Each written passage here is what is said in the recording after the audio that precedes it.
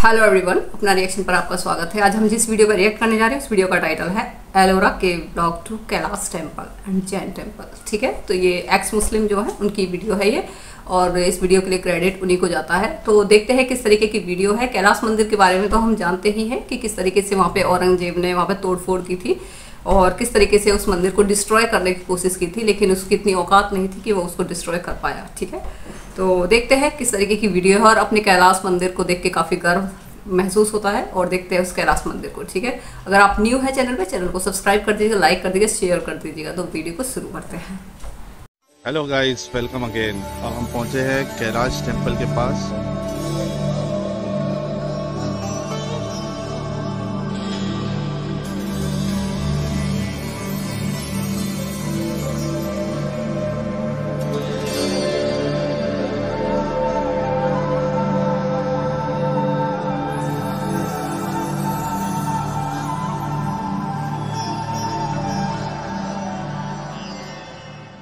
हमारे भास्कर जी गाइड हमारे और ये देखिए कैलाश टेंपल देखिए कैलाश दुनिया का सबसे बड़ा टेंपल माना जाता है। वर्ल्ड लार्जेस्ट मोनोलिथिक टेंपल से। क्या मतलब होता है उसका? कि वर्ल्ड्स लार्जेस्ट मोनोलिथिक यानी कि ये दुनिया का सबसे बड़ा सिंगल स्टोन में बना हुआ टेंपल है। अच्छा एक ही स्टोन में पूरा एक ही, हाँ, है एक ही बना, एक ही स्टोन में बना हुआ टेंपल है जो कि cut from top to bottom basically अपन कोई भी कंस्ट्रक्शन करते हैं नीचे से ऊपर करते हैं। जी। तो ये ऊपर से कट करते हुए नीचे लाया है। अच्छा। और पीछे से कट करते हुए आगे आए। हम्म। ये दुनिया का सबसे बड़ा टेंपल माना जाता है कैलाश। ओके। इस मंदिर का निर्माण जो है ये सेवन सेंचुरी में हुआ है। हम्म। Seven century to nine century यानी कि एक टेंपल बनाने के लिए 200 साल लग हाँ। टू हंड्रेड ईयर्स फिर 200 में बन गया है यस 200 साल लगे हैं इस टेंपल बनाने के लिए। पहले 600 बोले थे ना आपने? पूरा सारा के अच्छा सारा 600 इसको 200 ये इस टेंपल का निर्माण करने का श्रेय जाता है वो है राष्ट्रकूट नरेश दंती दुर्ग और कृष्णा फ़र्स्ट। उन्हीं के कार्यकाल में ये सारा मंदिर बन के तैयार हुआ है। क्योंकि अपने बैक साइड में जितने भी केव देखे हैं, वो फ्रंट टू बैक बनाते गए। हाँ। यानी कि सामने से कट करते हुए आगे गए जी। बट ये टेंपल ऊपर से कट करते नीचे लाया है। जो कि इस मंदिर का जो डिज़ाइन देखिए सर जी एक चैरियट की तरह है। हाँ। यानी कि रथ की तरह हाँ। अरे हाँ यार। एक्चुअली यस उस डोर से आपको मेन मंदिर में जाना है। उसी वहाँ पर ही आपको जूता और चप्पल उतारना है। राउंड मारने के समय कहीं भी जूता उतारने की ज़रूरत नहीं है। वो मंदिर में जाने मंदिर में जाने के बाद ही वहाँ पर आपको जूता और चप्पल उतारना है। अंदर में एक शिवलिंग है खाली। हम्म। सिंगल। बाकी कुछ नहीं और इस मंदिर में पूजा अर्चना कुछ होता है नहीं हेलो गाइस अभी मैं जा रहा हूँ।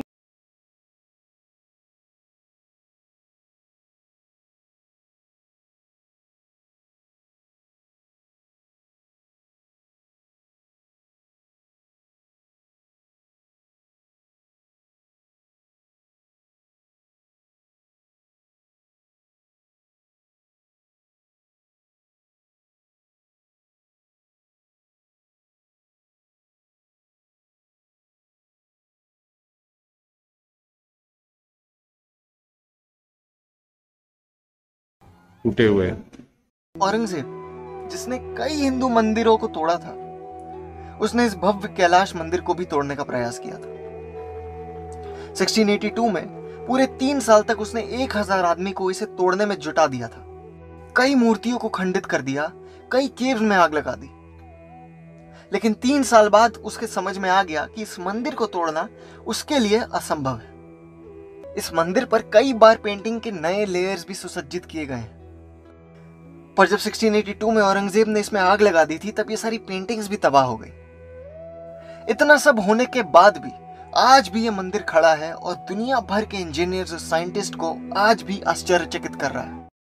इस मंदिर में कहीं कहीं आपको सफ़ेद कलर नज़र आ रहा है। देखिए हाँ हाँ हाँ हाँ ये 1830 में इंदौर की महारानी अहिल्या देवी होकर हाँ। यहाँ पर आए थे। उन्होंने ये सारा मंदिर कलर करने का कोशिश किया गया था व्हाइट कलर हाँ। ताकि ये दूर से देखा जाए तो ये कैलाश माउंटेन जैसा अच्छा। लेकिन ये बेसाल्ट रॉक होने की वजह से इस पत्थर पर ये चूना और मट्टी का कलर टिकता नहीं है। हाँ। इसलिए कहीं कहीं निकल चुका है। अच्छा। कहते हैं कि अहिल्या देवी होलकर ने काशी विश्वनाथ से लेकर तो सभी ज्योतिर्लिंग मंदिरों को इन्होंने यहाँ से जीर्णोद्धार किया है। हम्म। और यहाँ पर भी यहाँ से दिख रहा है देखिए ज्योतिर्लिंग मंदिर यहाँ पर हमारे यहाँ पर भी बारहवा ज्योतिर्लिंग है घृष्टेश्वर वो जो सामने दिख रहा है। सामने दिख रहा है घृष्टेश्वर मंदिर है वो। क्योंकि उस मंदिर को जीर्णोद्धार करने के लिए यहाँ पर वो आए थे। अच्छा ये वाला मंदिर। ये वाला सामने दिखा है। हाँ हाँ दिखा दिखा। हाँ तो इस मंदिर का कलश और उस मंदिर का कलश एक ही दिशा में लिया गया है। हम्म। जो कि उस मंदिर का निर्माण जो है टेंथ सेंचुरी में हुआ है हम्म। दसवीं शताब्दी में। हुआ अच्छा। तो इस मंदिर का निर्माण जो है सातवीं शताब्दी में। हम्म। तो ये दुनिया का सबसे बड़ा टेंपल माना जाता है। तो इस मंदिर में आपको यहाँ पर देखिए छोटे छोटे कार्व नज़र आ रहे हैं देखिए सभी ये इस दीवार के ऊपर में। हाँ। ये सभी रामायण है। क्या ये? रामायण। हाँ। रामायण दिखाया गया है यहाँ पर राम के वनवास से लेकर तो राम सेतु तक उन्होंने कलाकारों ने ये छोटे छोटे टैचूज के माध्यम से आपको यहाँ पर देखने को मिलता है। हम्म। उसी लेफ़्ट साइड में आपको महाभारत भी देखने को मिलता है टेंपल के। अच्छा। यानी कि इस टेंपल में रामायण महाभारत। हम्म। टेंपल के बैक साइड में बड़ी गैलरी है। उस बड़ी गैलरी में आधी गैलरी में विष्णु पुराण आधी गैलरी में शिव पुराण। हम्म। विष्णु पुराण शिव पुराण जैसे यहाँ पर रामायण जैसे महाभारत भी बताया गया है। और ये सामने ही एंट्रेंस गेट आपको नज़र आ रहा है देखिए वहाँ से जी। वहाँ से लोग अंदर आ रहे हैं। जैसे सामने लकड़ी का बैरिकेड आपको हाँ, वहाँ पर नज़र आ रहा है। हाँ। वहाँ पर गज लक्ष्मी का टैचूस आपको देखने को मिलता है। हम्म। बड़ा टैचूस है दो दो हाथी है जलाभिषेक करते हुए बताया गया है। उसके बाद में डोर के राइट साइड में दुर्गा और लेफ़्ट साइड में गणेश। हम्म।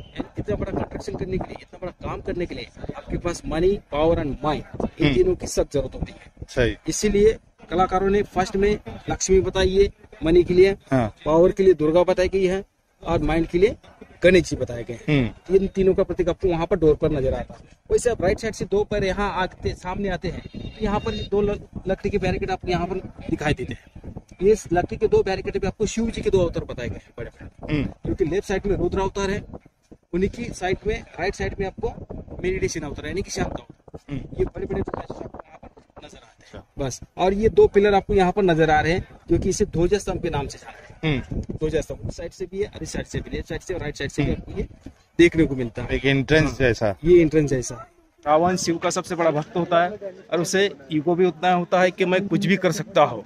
तो रावण कैलाश पर्वत उठाने की कोशिश कर रहा है तो ये फोर्टी नंबर्स पे आपको टैचेस हुए देखने को मिलता है। तो ये दुनिया का सबसे बड़ा टेंपल माना जाता है एक ही पत्थर में मोनोलिथिक हम्म। ऐसा। इस इस मंदिर का चित्र जो है बीस के नोट पर आया देखिए सर।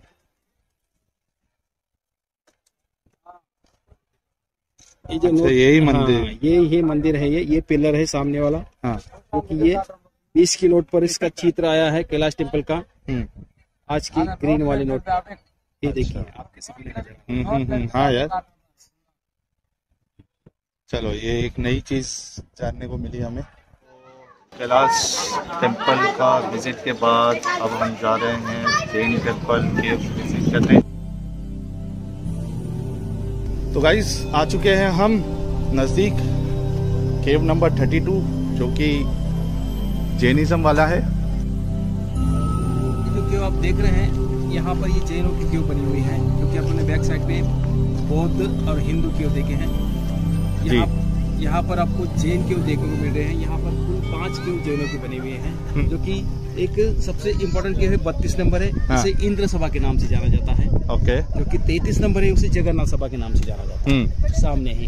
क्योंकि अभी जैनो धर्म में दो पंथ होते हैं हाँ। दिगंबर और श्वेतंबर दिगंबर जो साधु होते हैं वो वस्त्र नहीं पहनते हैं हाँ, तरह। हाँ। और जो श्वेतंबर होते हैं वो सबत वस्त्र पहनते हैं। हाँ। जो कि सारी गुफा जो ये दिगंबर पंथ की है।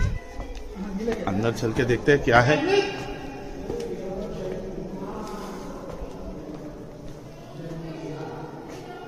देखिए। ये ऊपर सब जगह पे कार्विंग नज़र आ रही होगी। आपको थोड़ा सा जूम करके दिखाता हूँ आप लोगों को। ये देखिए। डिटेल्स पूरी हमने ऑलरेडी हमारे जो गाइड है, उन्होंने बता दिया है। ये देखिए।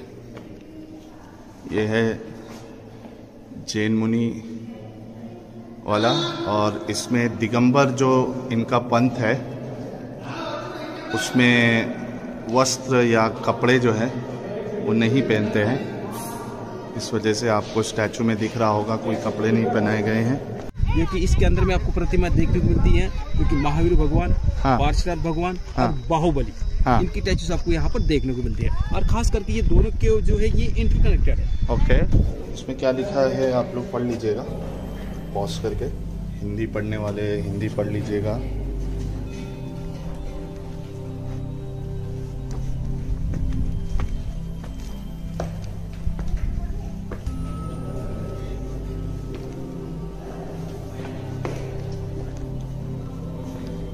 कार्विंग्स है जैन स्टाइल में।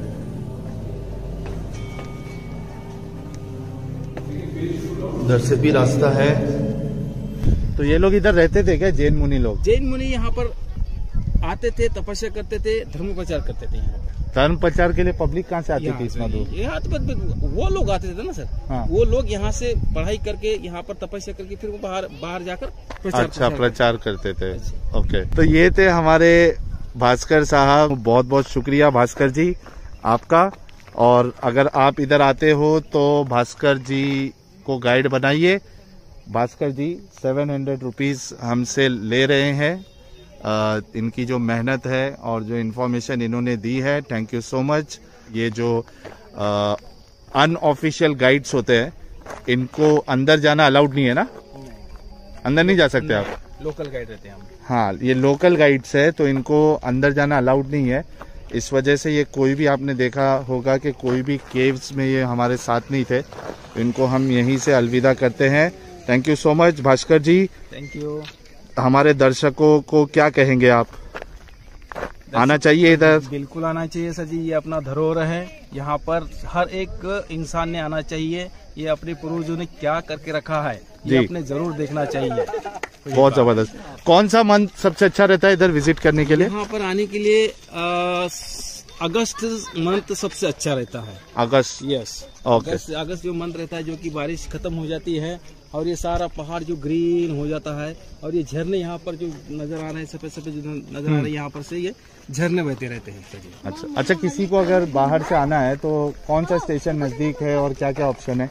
यहाँ पर बाहर से जो लोग आते हैं तो यहाँ से छत्रपति संभाजी नगर हाँ। यहाँ से 30 किलोमीटर दूरी पर है। हाँ तो वहाँ- पहले स्टेशन संभाजी नगर स्टेशन पे उतरने का। उतरने का। वहाँ वहाँ से 30 किलोमीटर दूरी पर ही एलोरा गाँव है तो गाइस किसी को अगर ट्रेन से आना है तो संभाजी नगर स्टेशन पे उतरिए और बाहर से सिटी बस आपको मिल जाएगी। पचास रुपए में तकरीबन तीस किलोमीटर है। बड़ी आसानी से आप यहाँ पहुँच जाएँगे। तो ये था आज का एलोरा का मेरा विज़िट आज का complete thank you so much for watching I hope you enjoyed this blog अगर आप लोगों ने अभी तक चैनल को सब्सक्राइब नहीं किया है तो सब्सक्राइब कर ले वीडियो को लाइक और शेयर ज़रूर करें। और जो डिस्कशंस और शॉर्ट वीडियोस जो भी अपलोड होती है, उसको ज़्यादा से ज़्यादा लोगों तक पहुँचाए। अपना ख्याल रखिए, अपनों का ख्याल रखिए। जय हिंद, वंदे मातरम।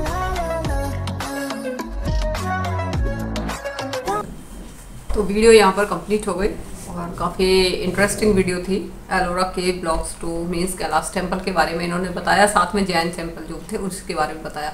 तो कैलाश टेंपल के बारे में जैसे बताया था कि औरंगज़ेब ने यहाँ पर आक्रमण मतलब मंदिर को तोड़ने के लिए काफ़ी कोशिश की, तीन साल तक जो है उसने हज़ार जो बंदे थे उनको यहाँ पर भेजा, लेकिन ज़्यादा कुछ बिगाड़ नहीं पाया था। बिगाड़ बिगाड़, और क्या बिगाड़ेगा? उसने सारे जो, उनके जो फेस थे और उनका हाथ, पैर सब तोड़ दिए थे उसने, ठीक है ना? फिर भी इन्होंने इतना अत्याचार किया है हिंदुओं के ऊपर, उसके बाद भी ये विक्टिम कार्ड प्ले करते हैं। हमारे हाथ हमारे साथ ये हो गया, हमारे साथ ही हो गया, जबकि यही सब कुछ करते हैं, यही क्रिएट करते हैं।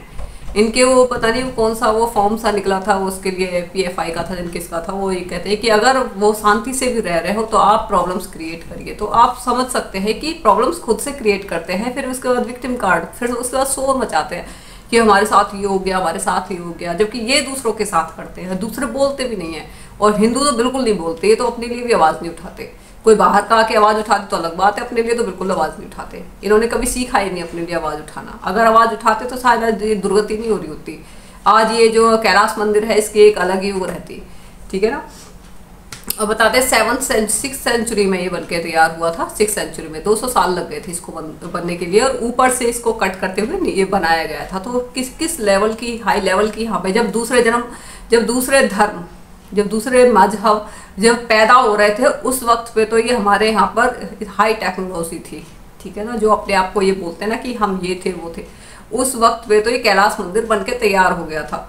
तो आप सोच सकते हैं कि किस लेवल की यहाँ पे टेक्नोलॉजी थी। दु, दुनिया तो अपने जरा जरा से के ऊपर इतना करती है यहाँ तो बहुत ही हाई लेवल की थी। तभी तो बाहर की जो आक्रांता थी उनकी नज़र भारत पर रहती थी। उनको पता था क्योंकि यहाँ से व्यापार होता था। यहाँ से व्यापार 50 परसेंट भरण पोषण भारत ही करता था।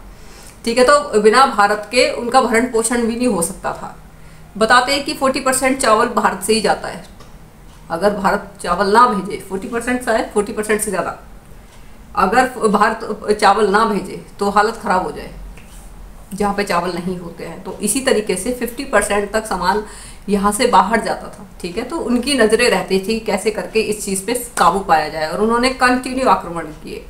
वो बोलते हैं कि हमारे ये थे, ये वो थे, यहाँ फिर यहाँ की चकाचौंध को देख के वो सब कुछ भूल जाते थे वो। वो कैसे भी करके उनको डिस्ट्रॉय करके, कैसे भी करके यहाँ पे कब्जा करना चाहते थे और उन्होंने किया भी। काफ़ी टाइम तक उन्होंने ऐसे ही किया, ठीक है? जब ये हिंदुओं को दो ही ऑप्शन देते थे कि भैया तो मर जाओ या फिर कन्वर्ट हो जाओ, यही ठीक ठीक है? तो यही चीज़ें इन्होंने की थी।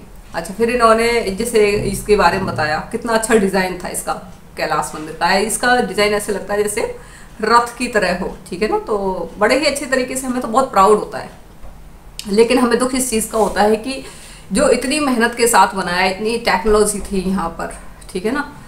उसको हम सुरक्षित नहीं रख पाए इन्वेटर से, आक्रांताओं से, जो चोर लुटेरे थे, जो डकैत थे। जिसकी गंदी नज़रें हमारे देश के ऊपर थी, हम उनसे उसे सुरक्षित नहीं रख पाए। इस चीज़ का हमें दुख है और हम आगे हम कोशिश करेंगे, हम अब आने वाली जनरेशन को अवेयर करने की कोशिश करेंगे कि वो गलती दोबारा से ना दोहराएँ। क्योंकि जो लुटेरे होते हैं, जिनके पास में कुछ भी नहीं होता खाने पीने के लिए, वो दूसरे देशों पर अटैक करने की कोशिश करते हैं। वहाँ से वो लूटते हैं चीज़ों को, सोने को लूटते हैं लूट लूट के ले जाते हैं। जैसे सोमनाथ के मंदिर को लूटा था, सत्रह बार लूटा था। उसके बाद में भारत के जीडीपी में थोड़ा सा अंतर आया था कि गिरने लगी थी। घरों में से सोना को लूट लूट के ले जाते थे। तो ये जब भी ऐसे के ऐसी ये इन्होंने खूब लूटा फिर भी ऐसे के ऐसे ही है। ठीक है ना? क्योंकि आपने लूट तो लिया लेकिन आपको यूज़ करना तो नहीं आया ना। आपको ना मेडिटेशन करना आता है ना आपको किसी चीज़ का आ, कैसे उपयोग करते हैं वो करना आता है। बस खाया अयाशी की ख़त्म हो गया फिर से आ गए। तो ये इनकी फितरत रहती थी। ठीक है? और फिर इन्होंने जैन मंदिर के बारे में बताया। तो जैन मंदिर में भी जैसे इन्होंने कहा कि वहाँ पे दो तरीके के रहते थे, दिगंबर, जो कि वस्त्र नहीं पहनते थे, और एक थे जो वस्त्र पहनते थे। तो उनके बारे में बताया था महावीर जो थी, इनकी पूरा बताया था कि उनको किस तरीके से जैन मंदिर को बनाया गया था। और बड़ा ही अच्छा लगता है, और ये हमारी जो पूर्वजों की धरोहर है ये, इसको हमें संभाल के रखना चाहिए। और इस पे इसके ऊपर पैसे खर्च करके इसको बाकायदा एक प्रॉपर तरीके से, इसको करना चाहिए। लेकिन इसका, इस पर किसी का कोई ध्यान भी नहीं है। ना कोई पैसे खर्च करता है, ना गवर्नमेंट का कोई ध्यान है। बस ये है कि जो हिंदुओं का जो टैक्स का पैसा है ना, वो इधर उधर लगाए जा रहे हैं। हमारे मंदिरों पे, हमारे जो पुरानी धरोहर है, उसके ऊपर कोई भी खर्चा नहीं हो रहा है। हम खुद से पैसे दे रहे हैं, वो पैसा भी हमारा दूसरों के लिए यूज़ हो रहा है। ठीक है तो अभी भी हिंदू सोए हुए हैं। इनके ऊपर तो लाखों केस ठूक जाने चाहिए अब तक, जिस हिसाब से इनकी हरकतें हैं। गवर्नमेंट भी ध्यान नहीं देती है इस चीज़ के ऊपर। हर किसी को केस कर देना चाहिए इनके ऊपर कि हमारे मंदिरों को हमें दो वापस। तो ये चीज़ें बड़ा ही दुख होता है इस चीज़ का। अगर मंदिर हमारे कब्जे में रहेंगे, हमारे उसमें रहेंगे तो हम उसमें गुरुकुल खोलेंगे। उसके बाद में जो हमारे जो ये क्या बोलते हैं, ये कैलाश मंदिर है, इसको वाकई में हम वैसे करेंगे, जब हम दूसरों के देशों में जाते हैं, बस 500 साल पुरानी कोई चीज़ होगी ना, हमने तो बहुत पुरानी चीज़ें देख ली हैं। यहाँ पर दो दो हज़ार साल पुरानी चीज़ें हैं, उनको भी तवज्जो नहीं दी जाती है। ठीक है? ताजमहल को बता दिया कि ताजमहल तो प्रेम की निशानी है। कैलाश मंदिर को भी देख लीजिए। राम सेतु को भी देख लीजिए, वो भी तो प्रेम की निशानी थी। ठीक है ना? वो प्रेम की निशानी है। मतलब किस तरीके से नैरेटिव सेट किए गए, किस तरीके से गलत चीज़ों को प्रमोट किया गया। झूठ को सच साबित करने की कोशिश की गई, लेकिन झूठ ज़्यादा दिन तक सच नहीं रह सकता। एक ना एक दिन तो उसको पर्दा हटी जाता है उस पर सिर्फ़ झूठ साफ़ साफ़ दिखाई देता है कि झूठ है। ठीक है ना?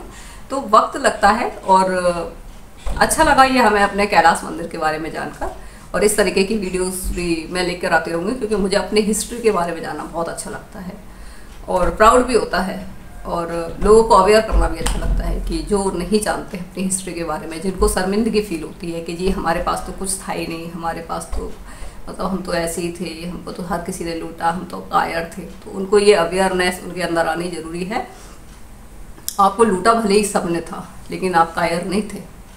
आप आप नॉलेजेबल थे। आपके पास हर वो चीज़ थी इसीलिए आपको आ, आपको जो है औरों ने लूटा। अगर आपके पास होता ही नहीं कुछ भी तो क्यों कोई आप, आपको आके लूटता? ठीक है तो आप ये था कि कंटिन्यू आक्रमण हुए आपके पास में। कंटिन्यू आक्रमण हुए हैं। इस वजह से आक्रमण होते होते होते होते एक टाइम पे आके भी बंदा हार जाता है। तो बहुत आक्रमण हुए हैं। सिर्फ़ एक अरब ने या यूरोपीय कंट्री ने आक्रमण नहीं किए हैं। कहीं पे गोवा पे आक्रमण हुआ, कोई पुर्तगाली आक्रमण कर रहे हैं, कहीं स्पेन से आक्रमण हो रहे हैं, कभी फ्रांस से आक्रमण हो रहे हैं तो पूरी यूरोपीय जो देश थे अलग अलग देश, सभी ने भारत पर आक्रमण किए हैं। ठीक है? और ये सभी ने तो ज़ाहिर सी बात है, जब पूरे उसको घेर लेते हैं चारों तरफ़ से तो एक टाइम पे आके टूट भी जाते हैं। तो ऐसे ही हुआ है हमारे साथ में, लेकिन हमें अपने इतिहास पर बहुत प्राउड है। और इसी वजह से आज हम एक हुए पड़े हैं, पाँच सौ बासठ रियासत जो हमारी एक हो गई हैं, जो कि सरदार पटेल जी ने जो इतना महान काम किया था, अखंड भारत तो खैर नहीं हुए लेकिन फिर भी उन्होंने बहुत हद तक उनको एक कर दिया, जिससे कि आज किसी की हिम्मत नहीं पड़ती, आँख उठा के हमें देख सके। अगर आज हम फिर से ऐसे छोटे छोटे पार्ट्स में होते तो शायद आज यही हो रहा होता। अब तक तो मुस्लिम राष्ट्र बन चुके होते जाने कितने छोटी छोटी रियासतें, ठीक है? तो इस तरीके से बहुत सही किया उन्होंने, लेकिन गलतियाँ बहुत हुई हैं हमारे उनसे। या तो ये कह सकते हैं कि उनकी मनसा ही यही थी, इस वजह से उन्होंने जानबूझ के किया है। ठीक है ना? तो इस पर ज़्यादा बात करना ठीक नहीं है। तो देखते हैं। तो मे भी आपको ये वीडियो अच्छी लगी होगी। ठीक है? अगर आपको ये वीडियो पसंद आई हो तो आप इस चैनल को सब्सक्राइब कर दीजिएगा, लाइक कर दीजिएगा, शेयर ज़रूर कर दीजिएगा। जय श्री राम। और कमेंट में जय श्री राम ज़रूर लिखिएगा। जय श्री राम।